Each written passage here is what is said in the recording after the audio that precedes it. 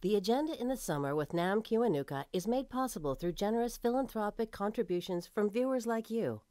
Thank you for supporting TVO's journalism. Youthful perspective on the all too long standing problem of racism. I'm Nam Kiwanuka. Tonight on The Agenda in the Summer, writer Habiba Cooper Diallo on her book, hashtag Black in School.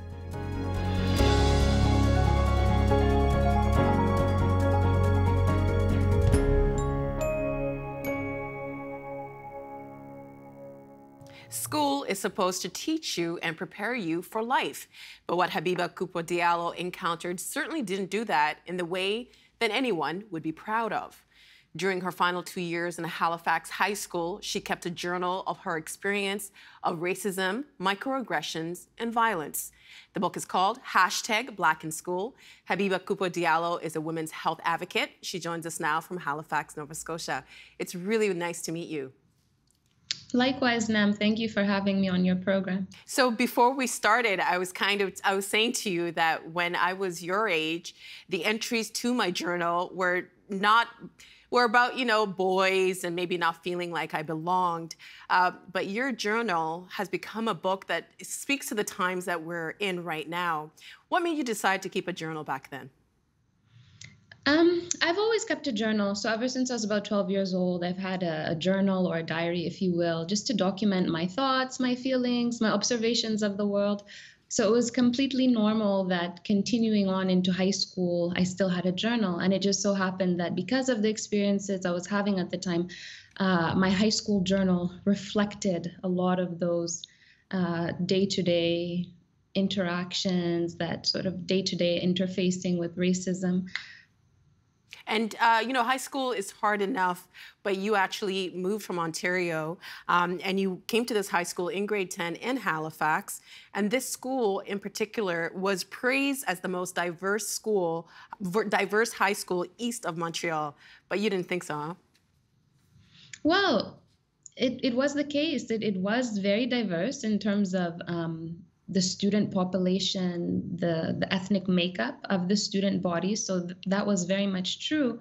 However, I felt that it was just represented on a, on a surface level. I wanted to see more in terms of the overall uh, experience for students, um, in terms of um, in terms of the curriculum. So when it came to some of the deeper uh, aspects of schooling and of education. I wanted it. I wanted there to be that diversity, which I felt wasn't there on a deeper level. And that also included having more teachers of color, correct? Exactly. Yes. Um, why is it important for schools when we do talk about diversity or inclusion that we're also talking about the makeup of the people who are doing the teaching? You know, seeing is believing seeing is believing. That saying is very true. And seeing someone who looks like you uh, in a position of authority or as a teacher, it can really inspire the students. It would you know confirm the the possibility for them that they can go on and achieve that they can uh, go on to higher education become whatever it is they want to become and um, and and just sort of move forward in society, uh, fulfill their potential, and become who they're meant to be. So you're moving provinces, you're going into a new high school, um, but you're also dealing with a lot at home. What was happening at home during this time? Mm-hmm. So um, I had just lost my father actually um, to a massive heart attack at the time. He died in 2010, and then a year later in 2011, um, my family moved to Nova Scotia. So it was one of the most devastating times of my life. I was in complete and utter shock. And when I think back to that young person, to that girl I was then at about 15 years old, I'm I think I'm just sort of in awe. I'm so amazed that I was able to do what I was able to do, that I was able to go through school, that I was able to achieve my goals and be so involved and be so courageous and be so outspoken because you are right it, it was such um, a difficult and, and trying time for me in my personal life Um, my condolences for your loss. Um, I. I, can imagine too that you uh, everything must have felt raw at the time. So, do you think that part of um, the experiences that you document in the book had to do with the fact that you were grieving? I do, very much so.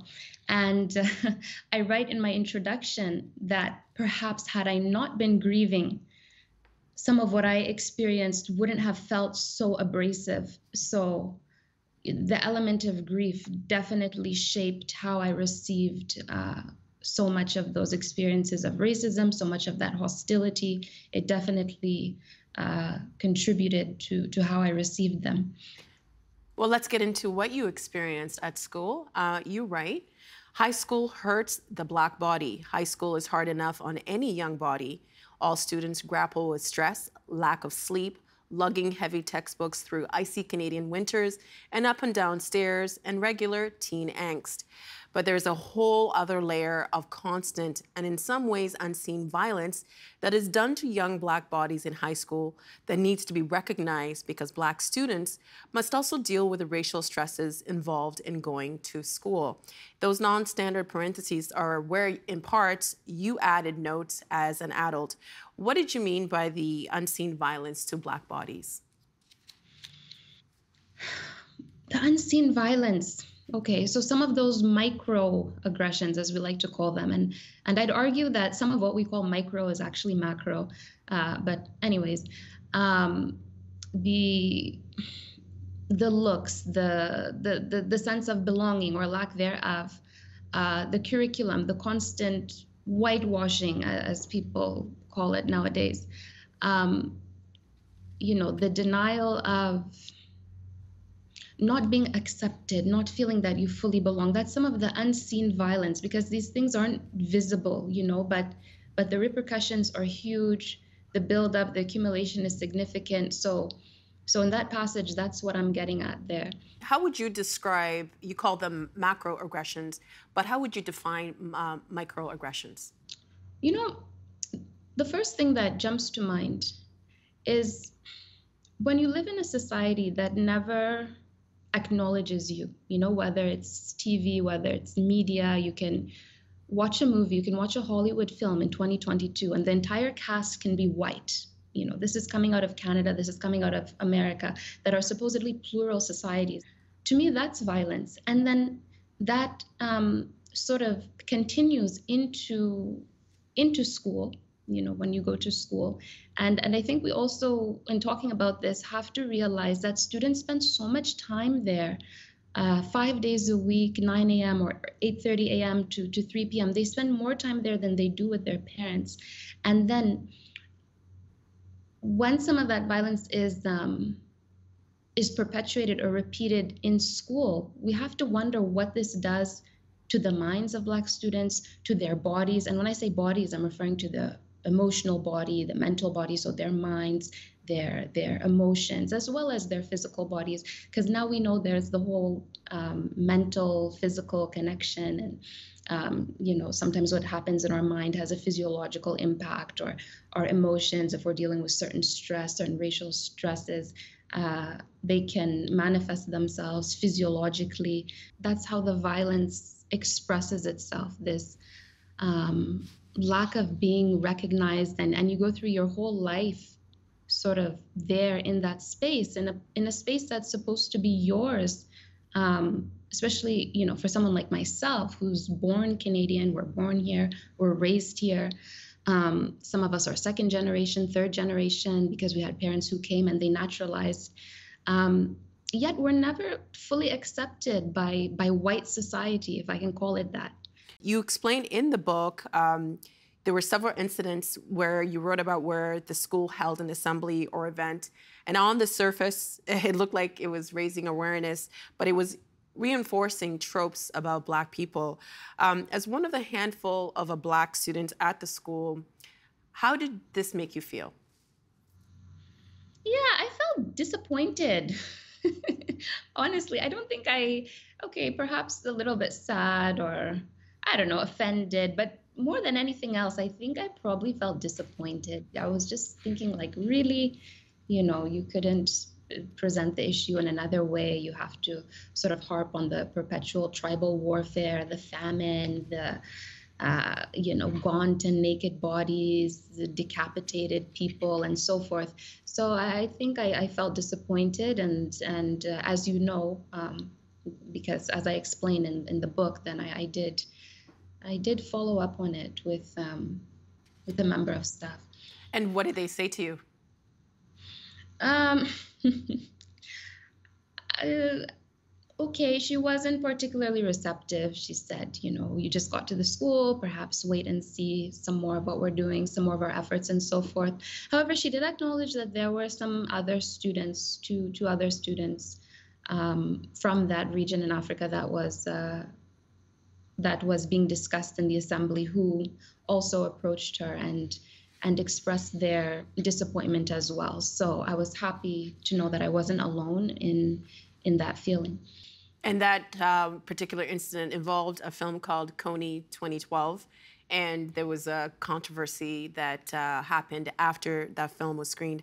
Um, there's a few incidences, too, in the book where it seems as if people um, get their backs up when they are called racist. Or even in the book, you write about situations where you say white people and they there's this kind of um, reaction. Uh, I think it's maybe easier for people to say black people than it is to say uh, white people.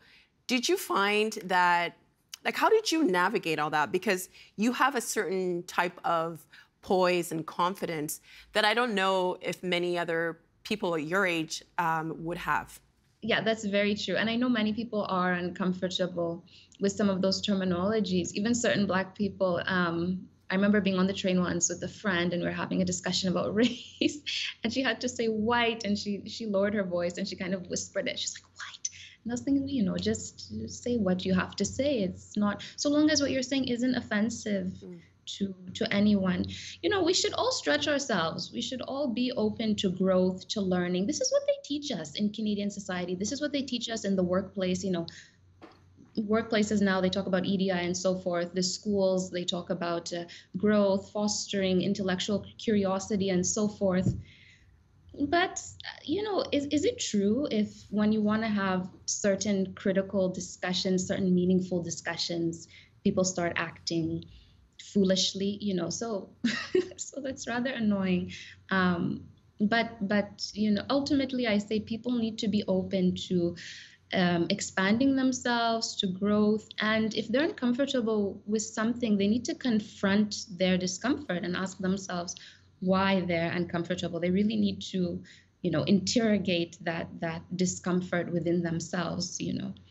You found uh, the curriculum problematic in one instance using the example of studying The Great Gatsby in English class. Uh, the Great Gatsby is considered one of the greatest books ever written. What's in that book that many people might not realize? Okay, so um, let me just go back to grade 11, grade 12 English for a minute and think about it. Um, I, I, think some of, in, in the book, the way uh, racism is spoken about, or scientific racism, or the superiority of the white races, because there's talk about that, something along those lines, like the superiority of the white races and the white race being pushed out and so forth.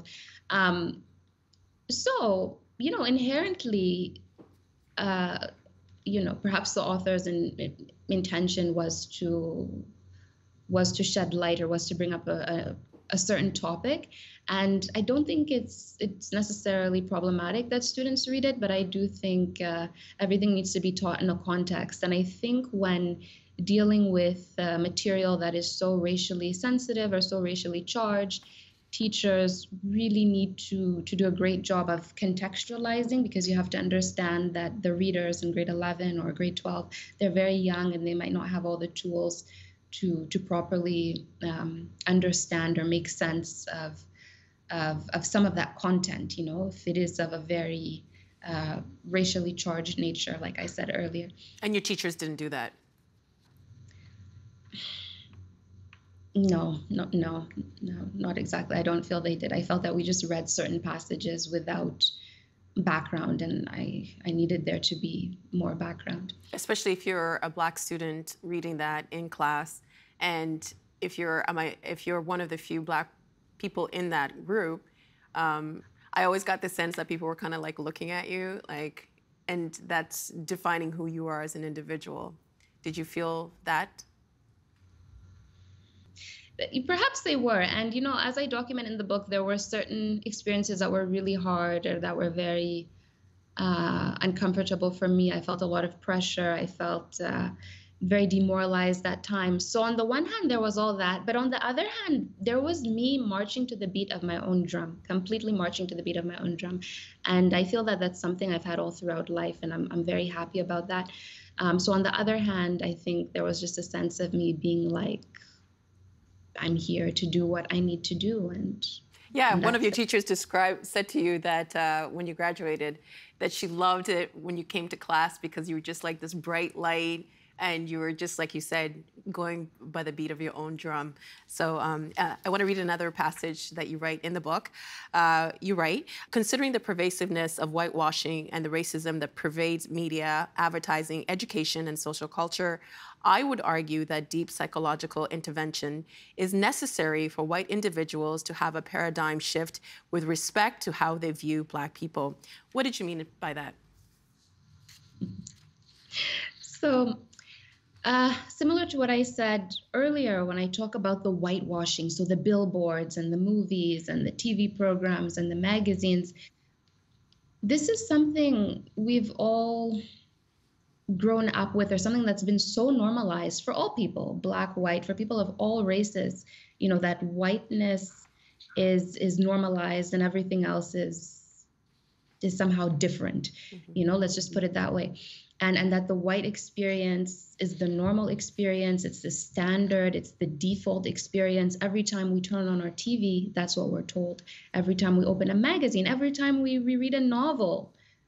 You know you can read novels written by um, other authors but generally speaking it's in novels they reflect the white experience. In school when we read books that's what we're told that the white experience is the standard is the default experience. So there's been that pervasiveness. And and our teachers say many white educators they've grown up with that pervasiveness and and they've just accepted it as as the normal experience. And and sometimes when i talk to white people or i do certain sessions or I, I have interviews on this topic many of them they're very appreciative but they're also um, surprised about the extent to which we as black people or or the amount of time and energy rather i should say we as black people put into dealing with racism. And then you know when we take it home or when we have to be talking to our friends or family members about it it's just so much energy i think uh, so much of our of our energy that could be used toward something else toward writing another book for example. So so so then as a result you know to to change some of that there needs to be a deep psychological intervention so much unlearning you know. So when we talk about these edi initiatives or trainings for staff uh, this is some of the unlearning that has to happen because we've all been conditioned for so long for centuries actually to believe that that whiteness is normal whiteness is the default and everything else is is is is different, is problematic, is you know all the thoughts that that that come that are associated with everything that's non-white. So that's what I mean in that passage. Um, you also write in the book that this is actually harming white students when we do, so we need to kind of rethink it because white students are not benefiting from this either. What did you mean by that?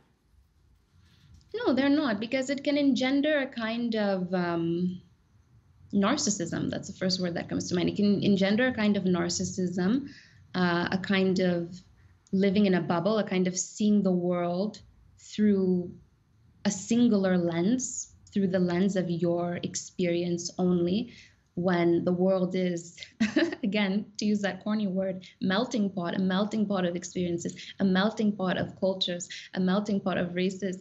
Um, so it, it, does harm white students. And sometimes when they're forced out of that bubble or when that, um, yeah, when they're forced out of that bubble, uh, it, it can be difficult for them. That's why to to to speak of what you mentioned earlier people sort of backing up against a wall or becoming defensive when you talk about racism or when you talk about whiteness. That's it sometimes. It's it's that discomfort. It's their foundation is being challenged. It's everything they've learned is being challenged. And it comes with a kind of defensiveness uh, even hostility you know. I've seen it come with hostility. I'm sure you have as well. So no it, it doesn't benefit white students either you dedicated the book to all the Black high schoolers and students of the world, uh, and you said rise up. Um, your mom is Afua Cooper. She teaches at Dalhousie University. She's a historian, novel, novelist, and she's been on this program uh, many times before. Uh, you also wrote about how you understand why Black students might drop out from high school. Do you think you would have been able to push back the way that you did if you didn't have your mom's support and guidance? Yes and no. It's a it's a great question, um, and you know I'm very grateful to to have been brought up in a very nourishing home environment. Uh, I was brought up with a rich sense of culture, a rich sense of who I am. So so this greatly contributed to my sense of self worth and to my sense of value in a world and in a country and in an environment that is constantly telling you that you don't have value, that is constantly telling you that you're worthless. And as I say this, I'm so aggrieved because this is the harm, this is the violence that I really hope people will begin to understand that happens to Black kids day in, day out. Um, but, anyways, uh, so yes and no. She she definitely did encourage me and helped to give me that sense of confidence. But the pressure is so great. So sometimes even having that sense of confidence or coming from a, a, family environment that encourages you, that gives you a, a great sense of culture, um, is not enough. Sometimes the pressure alone, the violence of racism, that in itself can erode any confidence uh, that you might have received um, at home. And I know other Black uh, students or other Black people who have grown up in an environment similar to my own, and frankly, they didn't make it they just didn't make it. That's the pressure of the society. Uh, that's that's the violence of racism. It eroded them. So so so yes and yes and no. And um, while it's great and while i do encourage all parents of black children to really lift up their children at home to boost them to you know so forth instill a sense of value and so forth into them i i really it's not enough. And and you know there needs to be more than than just telling those parents to do that because it's really not enough. And it's it's a lot on the parents too. Well, I, I, totally agree. I have two small kids, and my son, the older that he gets, the more worried I become. Um, there's so, only so much I can do at home, but once he goes out into the larger world, uh, there's very few things that I can control. Uh, but Habiba, thank you so much for sharing your journal with us.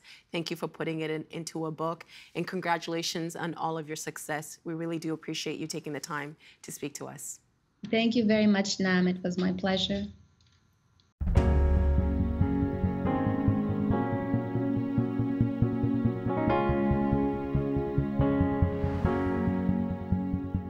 An unexpected phone call to Confederation College solved a decades-old mystery about two paintings by the renowned artist Norval Morrisseau. Charnel Anderson covers the Northwest for Ontario Hubs, and she joins us now from Thunder Bay to explain. Hello there. Hi, Dan. All right, for those who are not familiar with the late Norval Morrisseau, you can tell us a little bit about him. Yeah, so uh, Norval Morrisseau has a pretty impressive CV. Um, he founded the Woodland School of Art. He was a member of the Indian Group of Seven, and he was also the first Indigenous artist in Canada to have his work featured at a mainstream art gallery. And so it's for those reasons that Carmen Robertson, who is an art historian and an expert on Norval Morrisseau, who I spoke to for the story, she calls Morrisseau the Mishomis or the grandfather of contemporary Indigenous art. And as Carmen explained to me, Morrisseau was born in Fort William in 1931 um, he was sent to live with his grandparents on Sandpoint Reserve, which is today called uh, Bingwi Neyaashi Anishinaabek, which is a small community on the shores of Lake Nipigon. And that's really where Morrisseau learned about Indigenous spirituality and Catholicism, these themes that would go on to influence his work. And, you know, despite his credentials, he never actually received any formal art training. Um, as a young person, he worked various jobs in Northwestern Ontario, uh, like highway construction and pulpwood cutting.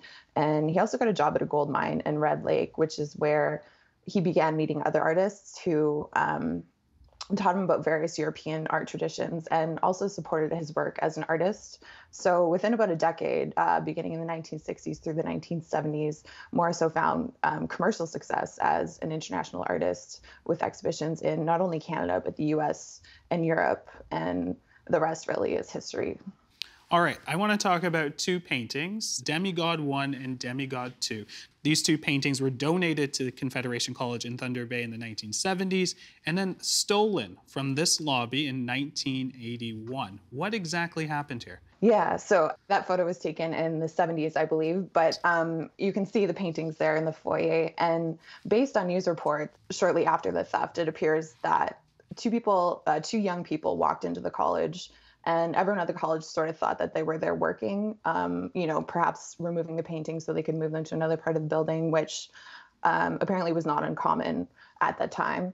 Um, but you know, eventually people caught on when they realized the paintings were missing. they were no longer in the building, and you know, it's been a long time, but uh, no one's been arrested in relation to these thefts. Um, however, spokesperson for the Thunder Bay Police Service says the investigation remains ongoing. Um, however, after the theft, we know uh, from court documents that the paintings made their way to an art gallery in Montreal, uh, which no longer exists. And it was there from that art gallery um, in 1981, the same year the paintings went missing, uh, that a Montreal based lawyer and art collector purchased the paintings for $7,000, which, um, according to court documents, he didn't know were stolen until 2018. All right, so take us to where we are now. Uh, we sort of know that these paintings have sort of resurfaced. How exactly did they sort of come about? Yeah, so I spoke to uh, Mike Rosig, who uh, works in public safety at Confederation College, and he told me shortly after he started his job there in 2018, he got a phone call from an art curator. And the art curator told him that she was aware of two Norval Morrisseau paintings for sale in Montreal and she was also aware that these paintings had been stolen from the college decades uh, earlier in 1901. Um, and Mike wasn't really sure what to make of that at first because he had no idea that these paintings were stolen in the first place. Um, but you know, being a former police officer, he used his investigative experience to track down the photograph that we saw um, of the paintings from the college in the 1970s. And then he got in touch with local police, who ultimately put him in touch with the police in Quebec who were able to confirm that the paintings in Montreal were in fact the same paintings that were stolen from the college in the 1980s. Now, we should mention that uh, a deal was made. Uh, those paintings are now in this province. They are back where they sort of belong, and they were donated to uh, the local gallery there. We have a photo of uh, a more recent photo of those paintings, Demigod 1 and Demigod 2. Tell us what we're looking at here. That's right. Yeah. So, um, in reporting for the story, I got to go to the art gallery and meet with Sharon Godwin, who is um, the lady in that photo, and she's the director of the art gallery. Um, and you know, she explained that it's important that these pieces are back here because of their history. You know, um, they belong in this region where Morrisseau did a lot of his work um, and lived a lot of his life, right? As opposed to being in a private collector's collection hanging in their house where you know, not a lot of people get the opportunity to see them. Charnel, very important story and very interesting story as well. Thank you so much for your time. And I should mention, for more on Norval Morrisseau, to check out our Art of Sovereignty podcast that explores the lives of eight First Nation artists. Thanks again, Charnel. Thank you. And that is tonight's agenda in the summer. I'm Nam Kiwanuka. Thanks for watching TVO and for joining us online at tvo.org. And we'll see you again next time. The Agenda in the Summer with Nam Kiwanuka is made possible through generous philanthropic contributions from viewers like you. Thank you for supporting TVO's journalism.